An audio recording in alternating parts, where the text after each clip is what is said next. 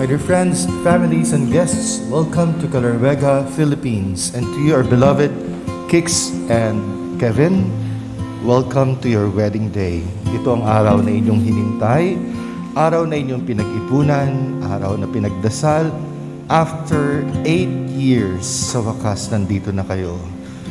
Hello, Kicks. This is it. This is all you, babe. I have to give the credits to you for our big event.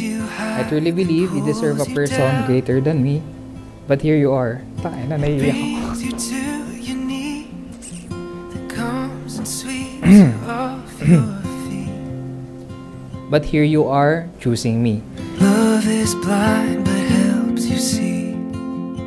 Hi, Kevin. Finally, ito na. After 8 years of life full of ups and downs. Hello? At last. round and round, Parasal. then puts you back unstable. You've been there for me.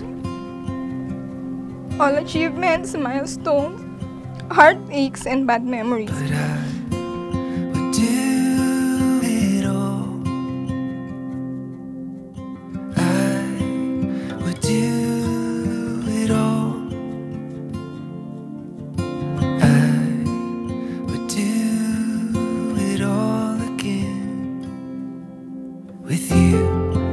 Masyado ka na marami sacrifice, babe.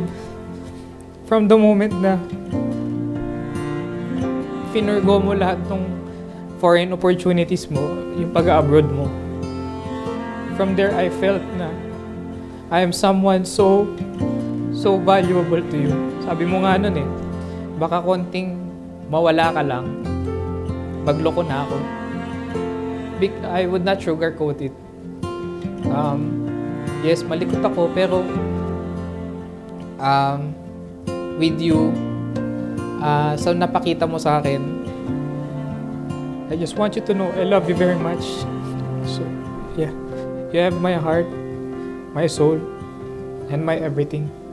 Love is wrong and love is right.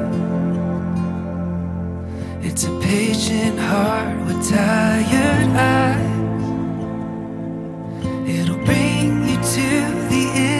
As we enter a new chapter in our lives, I just want you to know that um, I will always be here for you and our future family, our future children.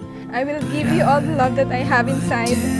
I'll be the best wife and mother.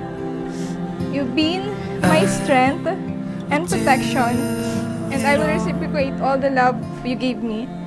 I love you so much, and I will love you unconditionally for the rest of our lives.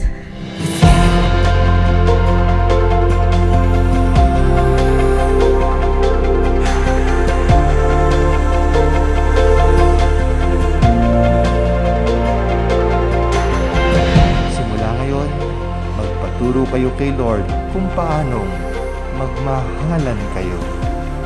Magmahalan kayo. Magmahalan kayo. caiu.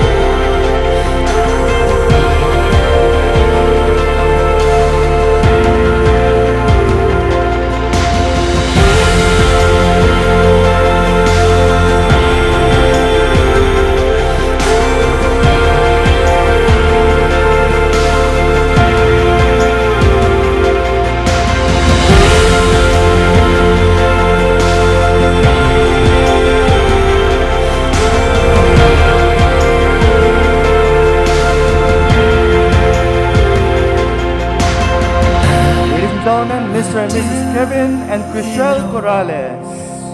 Mabuhay ang bagong kasal! Mabuhay ang bagong kasal!